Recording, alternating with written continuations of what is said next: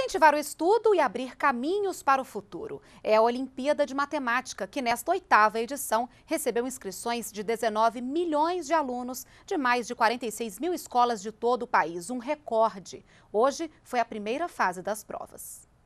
Na sala de aula, muito silêncio e concentração. São 20 questões para serem respondidas em duas horas e meia de prova. A rotina foi a mesma para mais de 19 milhões de estudantes de escolas públicas que participaram hoje da oitava Olimpíada Brasileira de Matemática. Daniel tem 17 anos e participou da prova pela quarta vez. Em edições anteriores, ele conquistou duas menções honrosas e, ainda assim, acha importante continuar participando. É importante participar de uma Olimpíada de Matemática, na minha visão, porque a partir dela você pode ampliar seus conhecimentos não só numa coisa fixa assim que o que um professor te dá em sala de aulas, mas também desenvolver seu raciocínio lógico não só na parte de matemática, mas também para a vida, né? O Colégio Militar de Brasília, por exemplo, conquistou 25 medalhas na Olimpíada de 2007.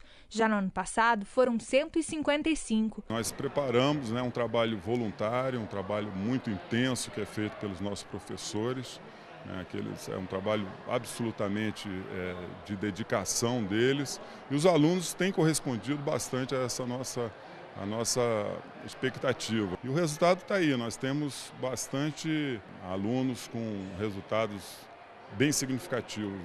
Além do estímulo aos estudos, a Olimpíada proporciona alguns outros incentivos às escolas e aos alunos vencedores. Além dos benefícios do seu desempenho, Uh, o aluno que é medalhista na Olimpíada Matemática, ele se habilita a, quando entrar no curso superior, a receber bolsa do CNPq, para qualquer disciplina. Ele é, está habilitado, está inscrito, se assim o desejar, é, para receber bolsas de iniciação científica quando ingressar no ensino superior.